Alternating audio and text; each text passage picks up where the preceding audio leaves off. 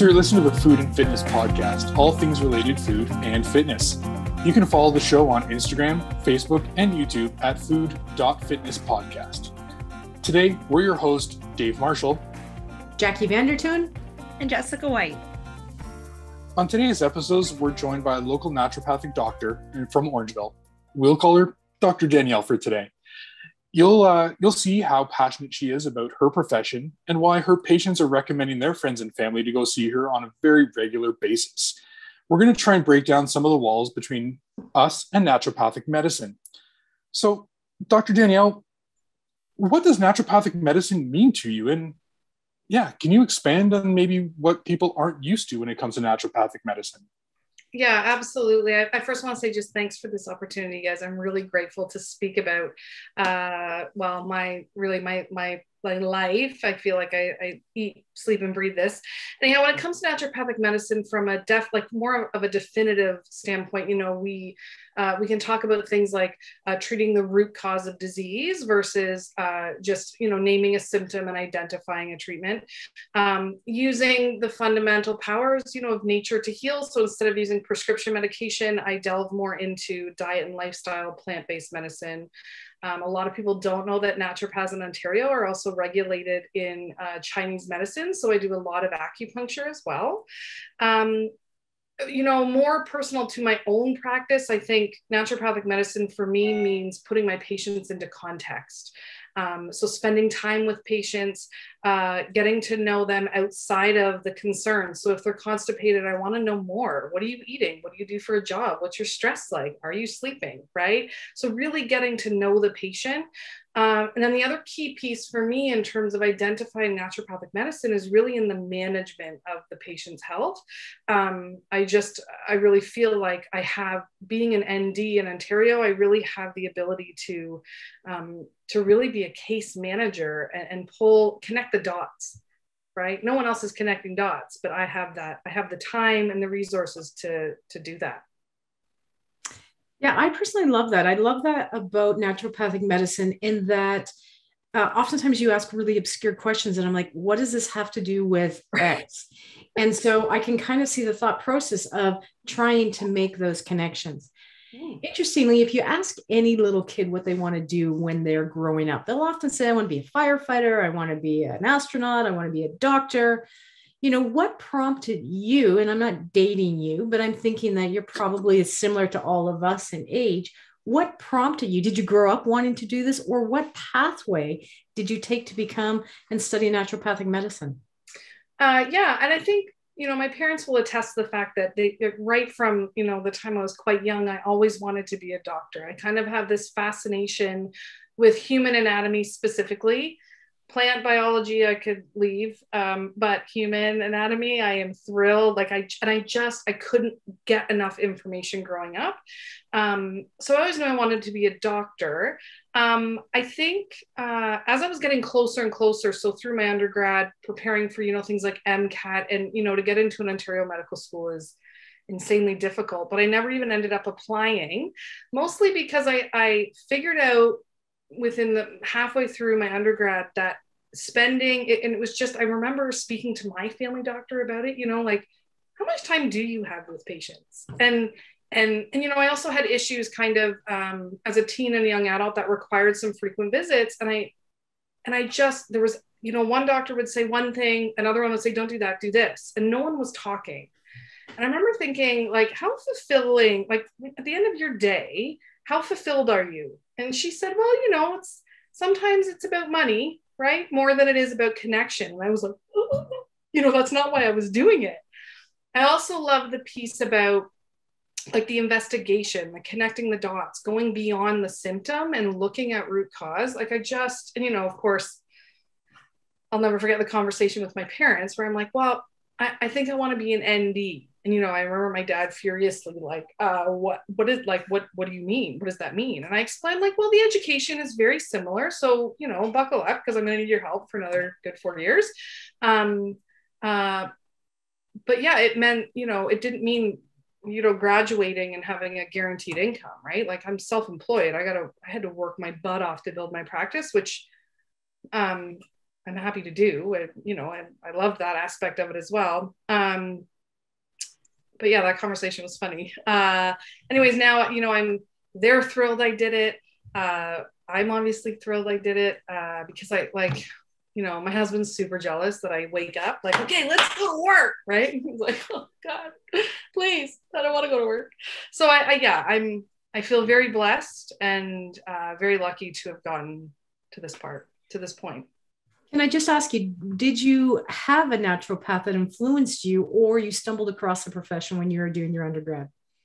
Uh, I stumbled across the profession when I was doing my undergrad. I did have a really, uh, one of my really good friends in undergrad. Um, her aunt is a really well known ND um, in uh, Toronto. So I was able to get a little bit more familiar with her practice.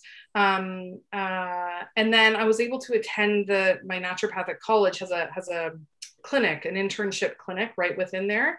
And I was able to get in there and I was still somewhat dealing with the issues that I had uh, uh, in my early 20s. And I, like, you know, your first appointment there is an hour and a half. Mm. And I just felt like for the first time, someone was listening to me, right? Someone was hearing me. Oh, it gives me goosebumps. Um, and then it, that was it. That was it, right? Like I knew, done, it was done. Mm-hmm. Interesting. Mm-hmm. Mm-hmm. It's so interesting. And I, you know, it's always nice to know why people pick the path. So the next question that we ha- that I have is is somewhat tied to the first question, but it's more just in general. Um, do you remember why you chose the medical field? Like why that was the path that you wanted to choose to go to school?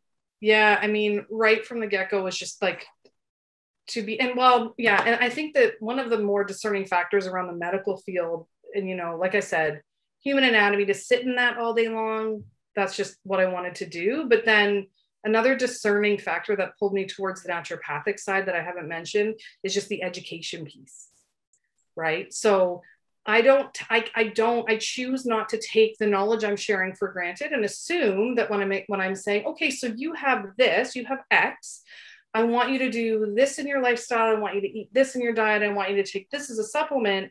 And here's why. Right. I don't, I don't just assume that they're going to treat me as the authority. And I, so explaining the pathology connecting the dots and explaining why one plus two plus three equals six. my brother's a math teacher and not me.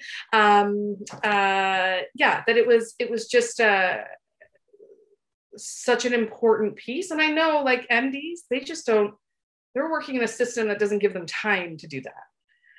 Right? We're expecting more of MDs than than is fair, really, at this point. But yeah, yeah, so more full picture and very explained.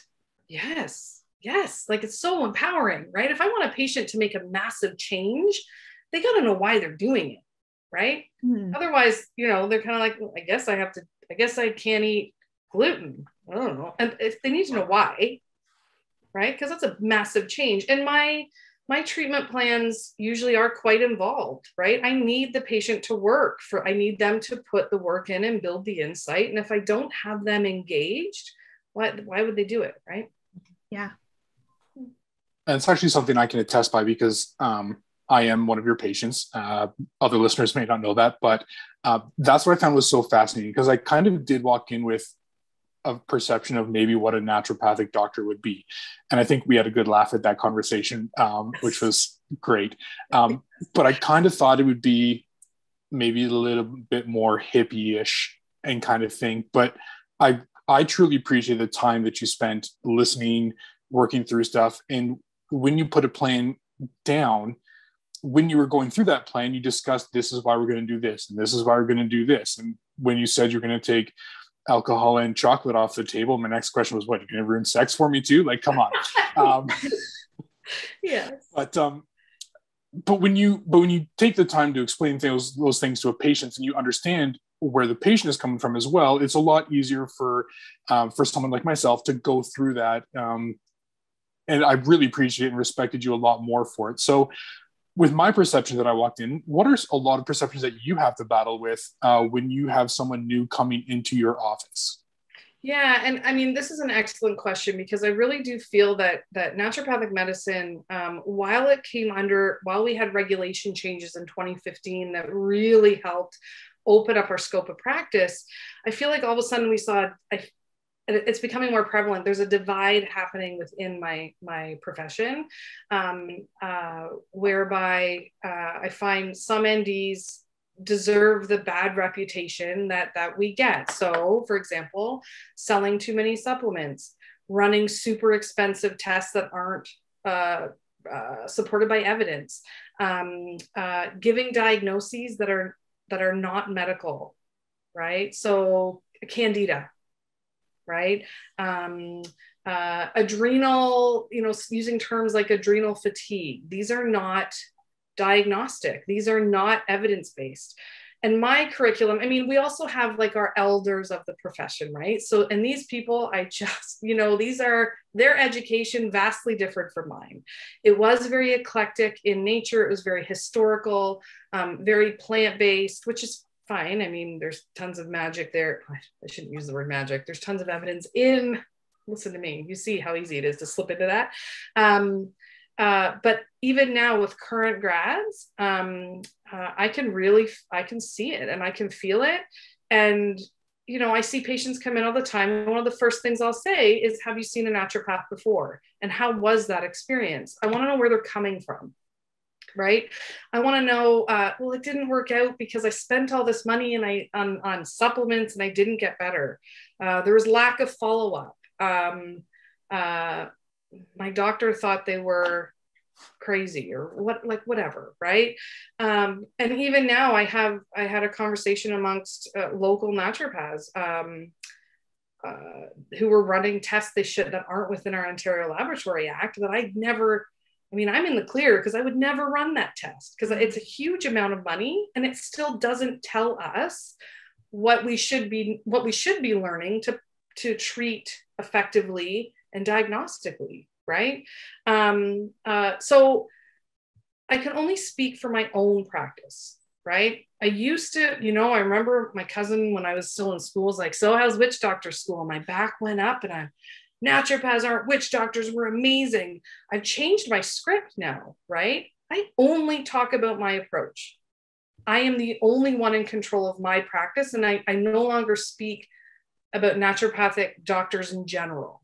And I make it very clear that my approach is not the same across the board. I think while we have very strict competency exams, we're not under an OHIP thumb.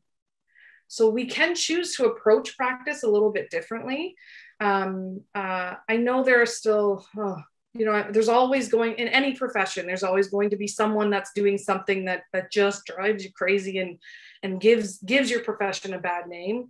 So I've, I've just sort of chosen to remove myself from that dialogue and just speak for for myself and my own practice. Um, uh, and you know, David, as you said, uh, barriers are just I, I, get skeptics right coming in. Um, it's often not the patient; it's often a parent, a partner, a, a sibling of a patient who's like, "Oh, what are you doing that stuff for?" Right? So then it kind of makes your job harder because now you have to explain yourself through a patient to someone else. Sure. You're not the one having that conversation with them, right? Absolutely. And I, I mean, I'm, I'm okay with that. I'm, I'm kind of of an attitude now. I mean, it used to really, you know, I feel like I was getting ahead and then I'd hear something and it would pull me back. Now it's more of like a bring them in, right?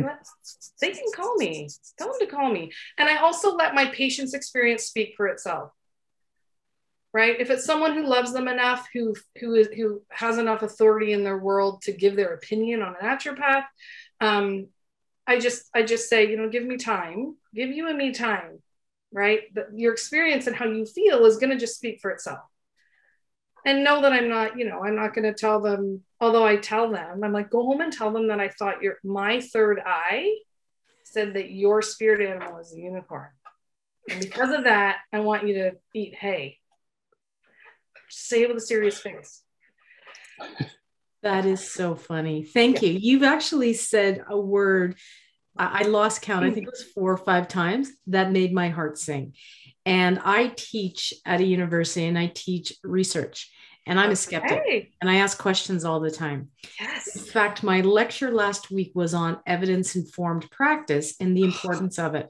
And you've made my heart sing because you said evidence at least five times. Yep. And one of the reasons that I've always been a skeptic, I think skepticism is important in anything Absolutely. that you do. Yep. But one of the reasons I'm a skeptic is because I see these broad based diagnoses. Like I suffer from candida. Yes. And I, you know, uh, suffer from, I'm quoting you, adrenal fatigue, which when I would look it up for evidence, I couldn't find anything. So I'm like, mm, wow, okay. Yeah. So can you share with me how you stay on top of evidence as a naturopathic practitioner and how you share that evidence and myth busting with your patients? Yeah, absolutely.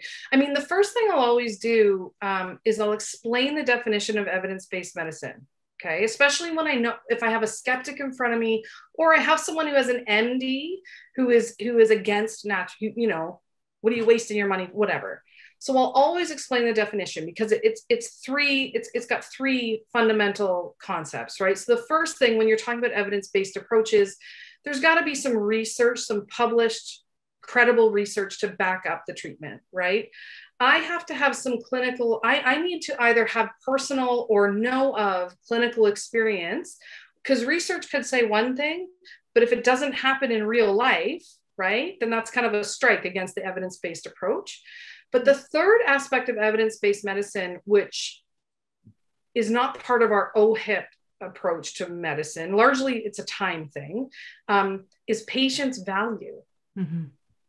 That's huge. So, a, so I could have all the research in the world. I could have a hundred case reports I could throw at that patient. But if there's something about that treatment that they don't resonate with or they don't feel right about, then I'm and I and I and I dismiss that, I'm no longer practicing evidence-based medicine. Or if I don't ask them how they feel about that. Because that's also not a conversation that happens in an MD's office, right? You have migraines, here's a pill, a triptan medication, for example. Um, take at first onset and off you go. Never is there, are you okay with this? Mm-hmm. Does this fit into your, right? Mm-hmm. Um, so I'll always explain that because also part of my role is empowering, right? Um, uh, getting patients to understand that they really do know their bodies best. That that I'm just I'm just gonna I'm a helper, right? I'm a helper. I'll, I'll give some suggestions. Um, uh, in terms of you know keeping myself on top of current research, like how how cool is that I'm in a profession that is constantly evolving. Like right? I'm not I'm not I, I don't know, um, hammering a piece of wood into every the same thing every single day. I am so blessed that it is constantly evolving, as are my treatments. I'm in my 13th year of practice. So I have patients that I've been seeing for 13 years, and they've been on the ride with me, right? For certain conditions, okay, stop this because now we know better. How, mm-hmm. how cool, we now know better, right? I do find this is this is something I often in my MD letters where I say uh, sometimes I'll say, you know, we now know better. And if we know better, we have to do better by our patients. Um, uh, as an ND in Ontario, we have continuing ed credits that we have to get every year. I actually just had to report mine, and I like I could cut I cut them in half because I had overdone it like I do every year, much to my husband's dismay. Um, but I'm a reader. I'm also a reader right? I got my stack of books on my bedside that I, I can't, I'm doing, I'm doing, I'm doing what I should be doing. Let's just say that. Like I am in it to, to win it. I love it. I love it. Yeah. Yeah. So you how important is it in working in concert with their their family physician? Um, and why is that important for their your patients to know that you work hand in hand with them, not against them? Yeah.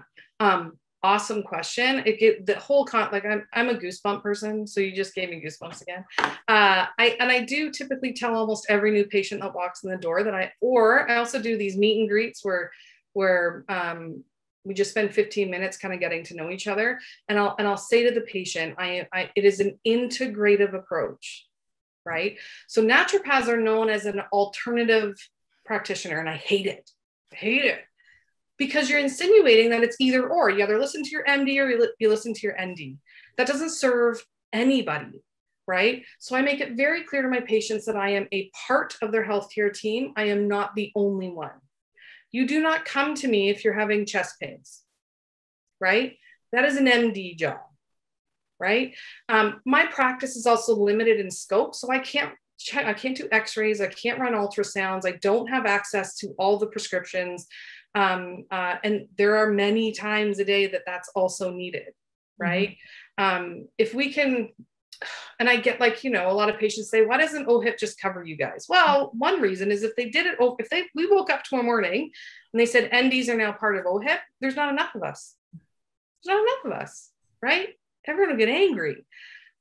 But how grand would that be if you think, you know, you're, you're, you've got your MD, and I say this all the time, and I still, it's still, I'm so, pa- MDs keep us alive. Mm-hmm. NDs keep us well I love it. Right? And MDs do a great job. I am not, I think a lot of patients too, another stigma is that I'm anti prescription or I'm anti MDs, right? I'm not at all.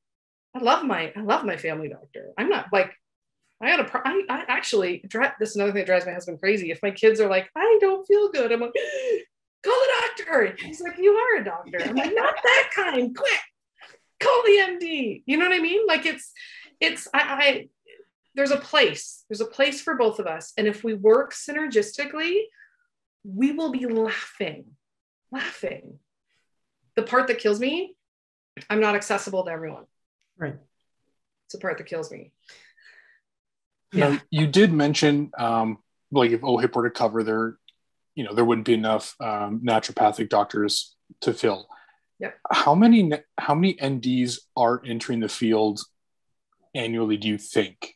Like, how many schools are there that are fielding doctors? Because yeah. you, you know, you you see all the time like class of X amount of like doctors times X amount of schools, and all these people are have going to have to enter the the field.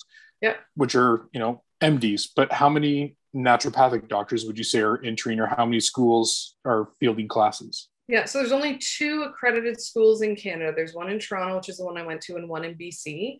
Um, average size of class, my class size was 109, and that was back in 2008. Uh, I believe more average class sizes now are upwards of 150. I think the I think the ish and the devastating part for me is uh, the number of NDs who don't make it. So that they graduate, they, yeah. they, they pass their competency exam, and then end up doing something else because they can't make a living. Um, you know, there is some critique around my school and and not being able to weed out. Like there should, I sometimes I feel like it's more, or there should, you know, we need a guidance counselor in there, right? Because there's people who are not who are, and you can like you are not meant at, at a level of connection that naturopathic medicine requires there are people there who should not be dealing one on one with patients. Mm-hmm. Right. Mm-hmm. Research, 100%. Right. Working for a supplement company, developing products, 100%. But given what's required of the profession, they just shouldn't, you know, you shouldn't, you need a guidance counselor and they're going, let's look at your options. Right and it's just it's not happening so the the colleges can and i believe boucher uh, the, the school in bc is very similar so you're looking at, say, you're pumping out 300 new NDs a year for across Canada. That's not enough. Not and enough. I guess you're not just like the doctor, you're also kind of trying to do your own marketing and all this kind of stuff because as an entrepreneur, you don't have a line or you know if you have, you don't have a lineup of patients that are looking for doctors who are just calling off saying I'll take a doctor whenever they can have them kind of thing, yes. right?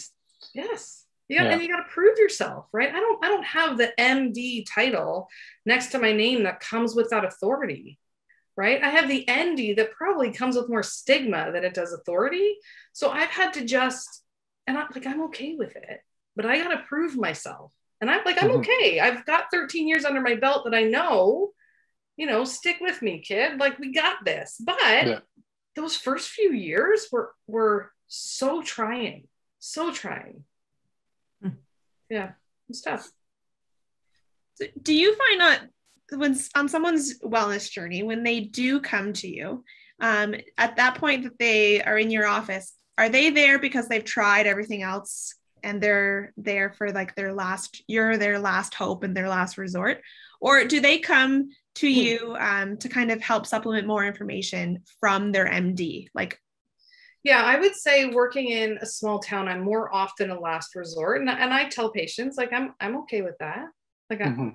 That's okay because at this point now, if I'm the last resort, that means they've got all the testing in front of me, right? So it's quicker. I'm, it's just we got less work in front of us, right? Um, uh, some I do have some GPs in the area who will take the more higher maintenance patients and say, you know what, go go see Dr. Danielle which is but these are people who are just screaming to be heard and just need the management piece right? That mds some mds in town can recognize they just don't have the time to do that.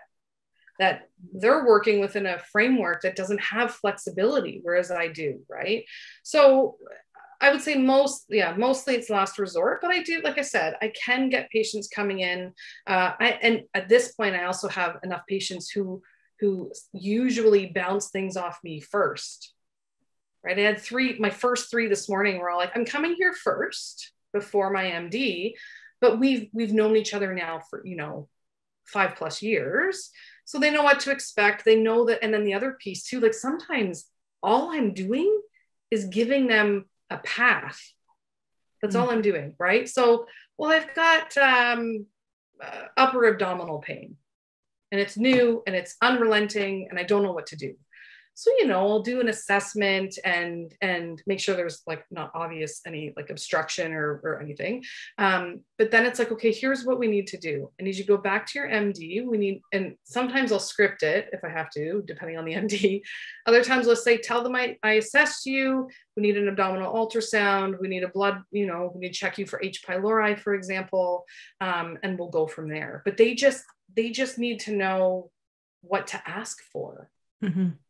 And they also need to be validated because Mhm. some of these people have been dismissed right? And they want to know if it's is it worth because i'll be honest right? I got you know yeah, yeah. There's some patients who i don't i won't get, they're looking for something specific and clinically it's not there Mhm. right? So sometimes it's also yeah i don't just give it two days it'll go away right but they just need they some patients just need to know that so it just it just depends on how long i've known them what their family doctor is like like what their relationship is like Mhm. um uh, we go from there That's awesome. So when people do come to you uh, as a last resort or their validation, what are some of the most common things that people are entering your office with? Like some of those common questions. uh questions or like in terms of what their issue is you mean Yeah. So yeah, or like what their issue would be. Like what are some of the most common questions that people are asking you? Like, can you help me with this? oh like certain whatever issues Yeah. Oh, yeah yeah uh, yeah I, I treat a lot of uh, digestive stuff so people who have uh, ibs being a big one um, skin conditions like eczema psoriasis uh, low energy or fatigue is another one because you know on blood work they look great uh, and the doctor's going i don't know get outside more uh, mental health i see a lot of women's health, whether it's menopause or uh, menstrual issues. And then, of course, I think because I have five kids, I do see a lot of pediatric. And, you know, my kids were my guinea pigs. They don't know that. They don't, someday they will, but they don't know. Uh, but yeah, I uh, I do a lot of pediatric as well. And you know, Orangeville, small town, it's a general practice, right? I've got I take care of women pre-conception, uh, to pregnancy to postpartum and then the baby becomes a patient of mine right? And then uh, men are usually the last to come in. No offense david but it's just i don't know it's just the way it is right? Um, when things Men get can be stubborn. I've never heard of that, but it's true. well you've heard. Yeah, Uh, rumors. yeah. Yes that's right. That's right. But uh, yeah i have patients from like i said from Oh, we lost her. Yep, she's frozen. It is downpouring at my house. I'm going to close my window. It is here too. I just heard it. oh yeah you're all you can hear me still Yeah, yeah, we lost- We lost you for a couple seconds there. oh okay i think yeah i can hear stuff going on outside Yeah, it's it's pouring here. I'm up in Shelburne, but we're all good. Yeah. we, we can continue. I'll just like crop that a little bit and then we, we can uh, piece everything together. So, Dr. Danielle, I actually uh, have a drink in honor of you. And I have recently, as a skeptic, gone to see a naturopath. And okay. interestingly, I went to the naturopath for a last ditch resort. Um, and the listeners know, and these guys know, I have a chronic Achilles tendinopathy. Mm. And uh, I have been seeing somebody for a while and I run. And so I was to the point where one of the therapists had said, you know what, why don't you see a naturopath and see about treating from the inside? So, give you some context, I've had this since 2010. It's been a long haul. Yeah. And um, so I was like, yeah, whatever. Like, she'll probably just tell me to eat healthy. And you know, we've discussed in this podcast, I have an okay diet. So up your fruits and vegetables. All right, that's what she's going to tell me. Yeah. She gave me a supplement called curcumin. Yeah. And um, I can't tell you how that has changed my life. Mm-hmm. Like changed my life. Yeah. And being the skeptic I was, I was so impressed with her holistic approach and looking at everything and narrowing it down. And, and you know, I had told her the last time I saw her, I said, why didn't someone tell me this 10 years ago? I have been hobbling around and running races and through pain uh, for 10 years, and I just want it to stop. How can people, like, I have two part question. One, if you were to say, and I know this is going to be a tough question, if you were to say to people, um, one thing you can do in your lifestyle to change would be X the second thing that I have a question about is how do we get people to adopt um, and, and i'm going to say alternative and i appreciate the fact that you hate that word alternative ways of looking at management of the health instead of resorting to anti-inflammatories for me in particular with my achilles issue. Sure. Um, i think in, in, terms of your first question with kind of that that blanket statement i think um, uh, in terms of start starting somewhere i mean there's a lot of thoughts come to mind. Things like what's common is not normal right? So if you sit and think of that of all the things if I, like i'm 42 if i think of all the times i've been told yeah that that's common. So don't don't worry about it. Right my achilles is due to you're 50 get used to it.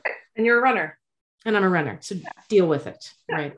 Yeah. Yeah. That's that's not that's not good enough right? Yeah. and then you know the other thing start asking yourself to the we want to start asking the why and not the what right? I want to know why i'm having this not what painkiller to take right? Um, and then just you know prioritizing self like we you know we got we got one body here right? Dig deep. I tell patients come on you got to dig because i get patients who come in who are kind of just sort of half-assing it right like well i'm here because my sister came and and she's got food sensitivities and I want you to check me for food. Okay, well, what's going on with your body? Nothing. Well, I'm not going to check you for food sensitivities. why, like, why would I do that? And you know, and then and then I start prompting them. I need you to dig a little bit deeper here, right? I need you to like, you know, give me because you know, um, how often do you have bowel movements? They're they're regular. What, what's regular to you, right? Like, come on, like you you know, start digging deep because once you i mean we're north america culture so it's a go go go. It's everyone else not not ourselves. Um uh so just you know pausing digging deep prioritizing self and just asking for more.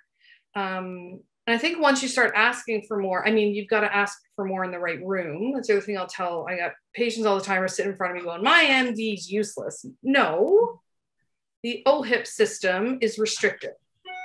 There's a difference right? Your md mm-hmm. is very useful. Mm-hmm. the, the the the model they're working in is what's not serving you right now mm-hmm. right? There's a difference. Um uh and i think you know for me a large part is just i i like especially when i first started practicing you know thinking of uh, how do i gain how do i gauge business right and i mean i can't we looked at uh, social media i did conferences about building content. Listen, I'm saying it, Jess. I'm not going to do anyone but uh, and and I found my most like the most important thing I could do was just with each patient that came in. You got it. Like I had to go above and beyond each patient, and as I did that, um, uh, it, it just catches on like wildfire, mm-hmm. right? So that's kind of how you support a holistic well-being is each patient, not let's do a splash on social media about this is what naturopathic medicine can do for you. You do one patient at a time. I, I, yes, I've got to stay present. I still, you know, social, you know, social media is uh, not something I prioritize. If I see something that I think is is funny and is really reflective of my practice, I'll grab it, but never do I go looking for it. Mm-hmm. Right. Because I really, I just like, I got, I have colleagues who are booking off afternoons to do their social media calendar. So, number one, I'm like, hire someone, right, Jess? Yep. Do that. Um, like, would you not serve your practice better? Like, you know spending that time do more research on that patient that's that's that's refra- like you know who's not getting better or you know what i mean i just i learned very early on that i, I couldn't get caught up in in what other colleagues are doing like i have a colleague who pushes social media all the time mm-hmm. and she's messaging me saying like i i've built it and no one's come mm. right but she's so busy with the with the exterior of her practice and trying to fight the stigma all the time that i think she's maybe she's somewhat distracted in in her in her one on because she's so busy you know what i mean so yeah i feel like i'm doing it a bit differently and i'm and i'm i'm okay with that because i feel at the end of my day i feel really good yeah. awesome awesome that's awesome. I love that you say that you're you're focused, obviously prioritized, and it is the client that you're there to help. So it's you yeah. know, it's just amazing. So if someone is looking for a naturopathic doctor, uh, what are some of the questions that they should be asking in that first meeting mm. when they're on the look? And are you, um, I don't know, are you offended when people treat their first visit kind of like an interview, or is what's your take on that kind of thing? Yeah, so I totally um, did that the first visit yeah, and I, I, I, you did, and but I'm so cool. Like you, you're coming in there going, "Do I give you my health or not?" Right? Like go, like absolutely. You, it, you, you're feeling me out, right? Um, and I think it really depends. The other thing too, you know, with regards to your first question, what kinds of questions people ask, um, I think it depends on what they're looking for, right? Because sometimes I'm not the right fit for them. Sometimes they want me to die like they're looking for a diagnosis of candida. Or they come in because they've already googled mm-hmm. and they fit something that's got a massive amount of symptoms. Like we all have candida right? And they want treatment for it. And i and i and I, i'm disagreeing with their you know google doctor diagnosis. Um, uh, or they come in looking for more um, homeopathic type support. Homeopathy being one of our modalities. It's just not something I do a lot of. I'll I'll pull it in here and there when I know it's gonna like a surefire it's gonna work. Um, otherwise, I don't. Um, lack of evidence is often my default answer there. I just it's just not a modality I resonate well with. So if they're coming in looking for a homeopathic remedy, I'm not I'm not the right fit and you can gauge pretty quickly um, uh, you know as much as they're interviewing me i get a feeling right? Like i get a oh boy you know I, and, and sometimes i'm referring and i'll say i think you're looking for something that isn't part of my specific scope of practice. So but here i've got a name and i'll stop the, the appointment short. And you know i won't charge like you know i'll just say this isn't going to work and i need you i want to make sure that you are getting what you what you're looking for and i'll refer to someone who i know you know an nd who does practice a lot of homeopathy for example right? Um, or one who's going to sell a bunch of supplements and run a bunch of unnecessary tests. So just because i don't know uh, what's the biggest difference between naturopathic ideology and homeopathic? Mm, great so, question it is a good question. Homeopathy is an is an energetic modality. Okay, um, uh, it is uh, hundreds of years old. Um, it uses the energy. So there's it's based on like cures like. I'm going to try to keep this brief. Um, uh, where if you give and all the remedies are the energy of the actual stuff. So there's remedies for plants, minerals. Uh, there's a Coca-Cola remedy, animals, uh, diseases. They're called nosodes. So there's a there's a homeopathic remedy for rabies. And the idea behind the homeopathic remedy is whatever it would actually cause, I mean, loosely, whatever it would actually cause in real life is what you'd use to treat it is what you would use to treat. So there's a snake remedy, for example. Okay. People who could benefit from a snake remedy don't like wearing turtlenecks, right? They're very jealous people. Oh, oh, oh, look. Oh, I'm not jealous. I just hate turtlenecks. I mean, I'm maybe I'm jealous of people who can wear turtlenecks. We'll see. I don't think that's a snake remedy. Anyways, so does does Reiki and that fall under that homeopathy? Reiki falls under just an energetic modality. Okay, so right, so it's just sort of working on that energetic plane. Chinese medicine also works on an energetic plane. I do a lot of Chinese medicine, but there's a whole bunch of published research on that, right? Like I like I I can I can do I can jive with that, right? Um, uh, so homeopathy is is is a tool in a naturopath's toolkit, whereas naturopathic medicine is a much more broader uh, definition, right? It's more of a, a profession that has homeopathy as a modality. Hmm. Very interesting.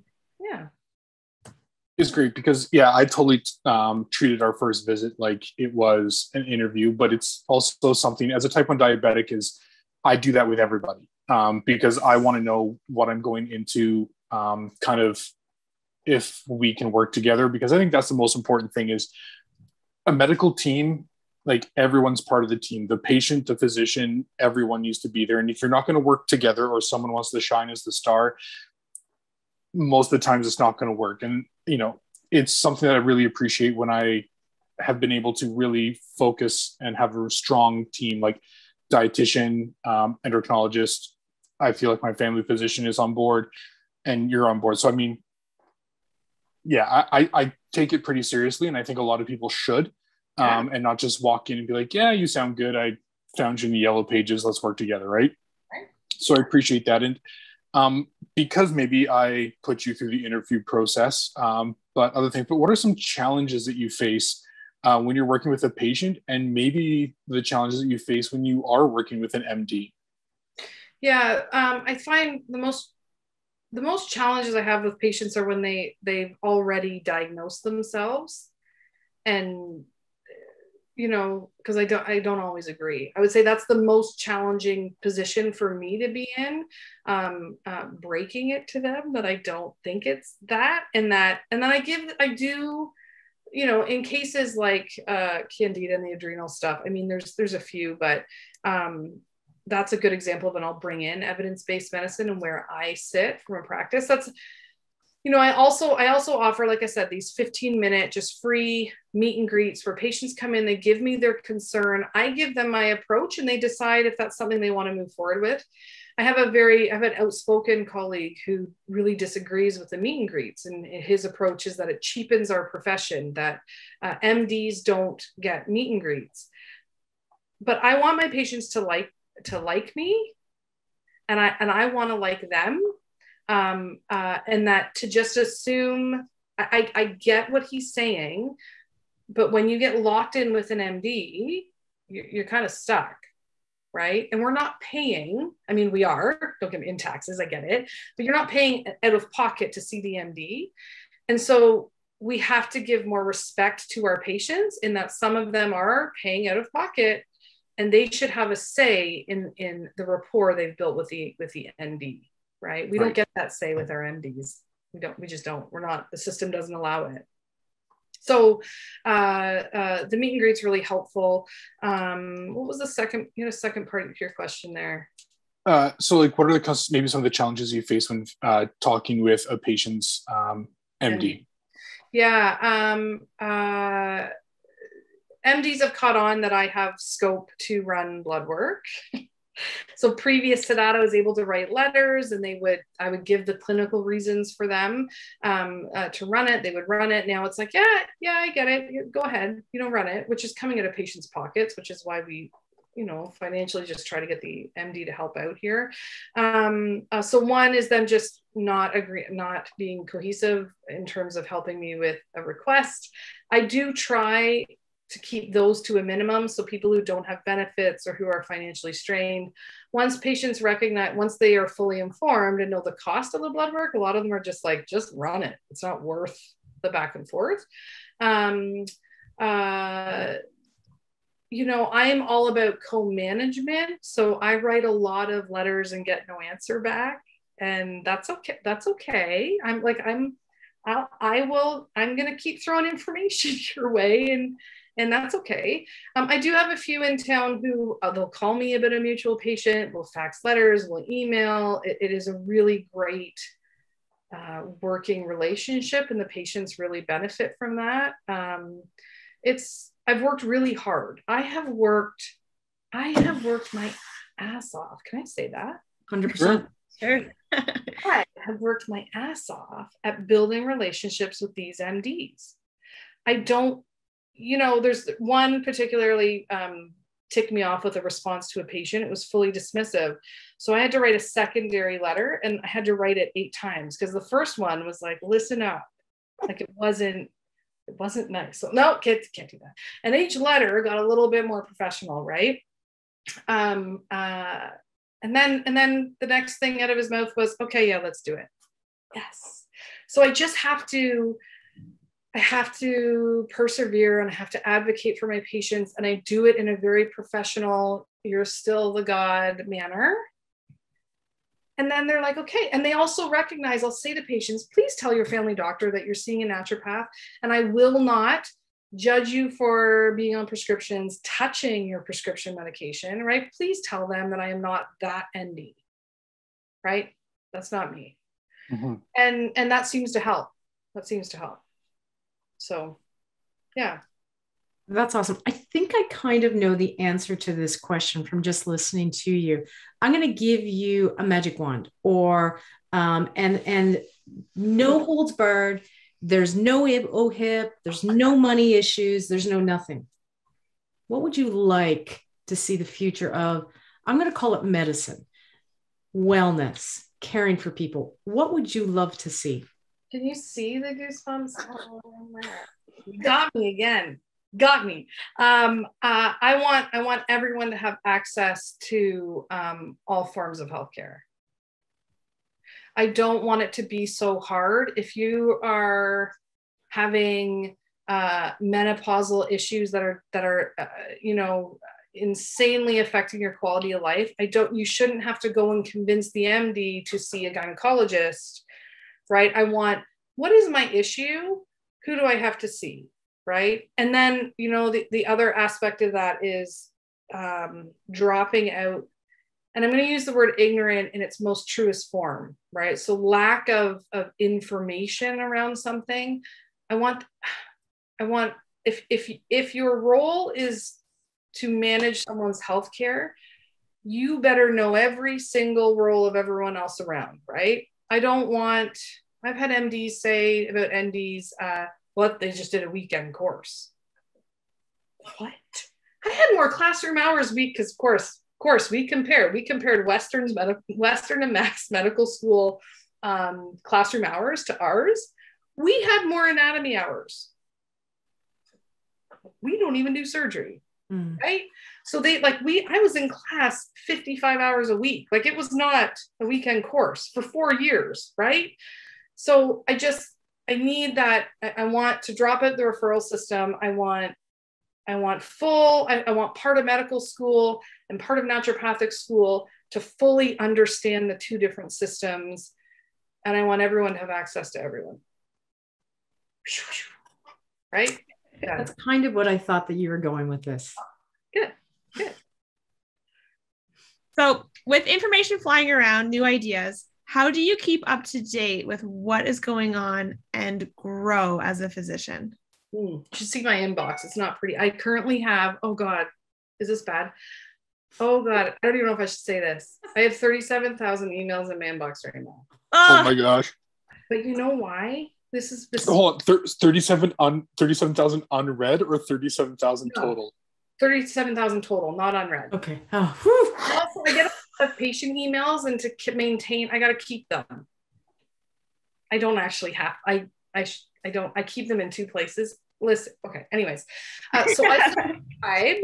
I subscribe to a to a resource, an online resource where I can get email alerts for when new studies come up on topics I'm interested in. So that's where I'm getting the ding, ding, ding.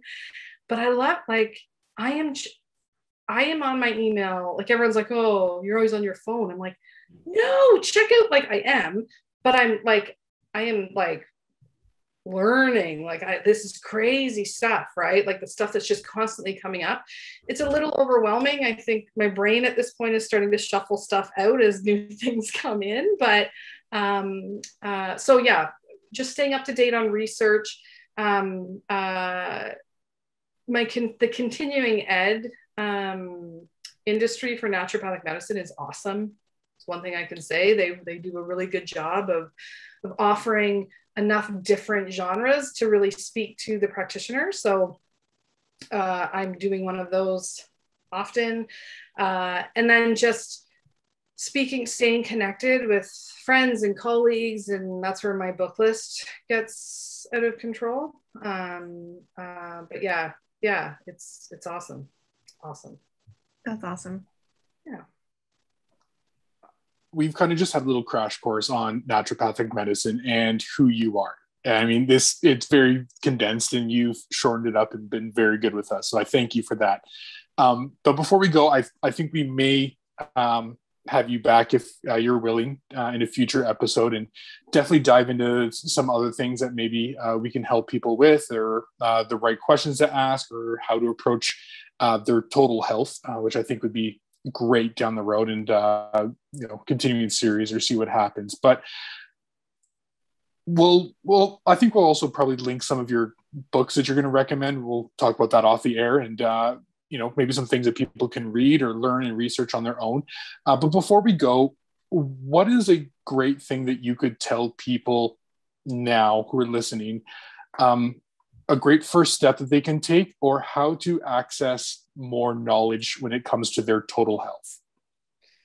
Yeah i think i think you just got to start by by you've got to have a spark ignited to want more right? To um uh, uh to just to not be okay with the symptom treatment. I mean don't there are times that that's needed many times I needed, where we got to buy time for me to work this out. So in the meantime, take this so that whatever is under control while we work in the back so that we can get rid of it completely right? Um uh but yeah just to again it's that dig deep piece right?